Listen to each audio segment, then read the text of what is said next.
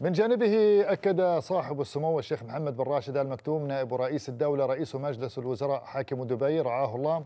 أكد أن الثاني من ديسمبر بداية الاتحاد وبداية متجددة كل عام لدولة الإمارات. وكتب سموه في تغريدة عبر حسابه الرسمي في تويتر الثاني من ديسمبر بداية الاتحاد وبداية متجددة كل عام لدولة الإمارات وبداية مرحلة قادمة تتوحد فيها الطاقات والجهود والخبرات لبناء أفضل دولة وإسعاد شعب الاتحاد. حافظ الله دولة الإمارات وأدام خيرها وعزها ومجدها.